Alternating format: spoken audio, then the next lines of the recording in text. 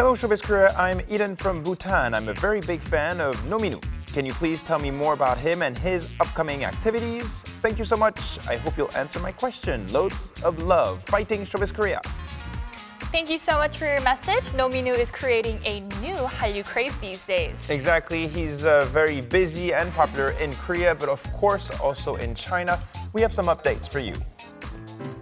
No Min-woo held solo concerts titled Beautiful Day in Osaka and Tokyo, Japan, and in Shanghai, China in April. He delighted many Asian fans who waited for him with excellent performances and even sang live for everyone. On April 30th, No Min-woo received the Young Leader Award at the Global Youth Summit held in Shanghai, China. Accolade, he gained even more fame amongst the young Chinese people.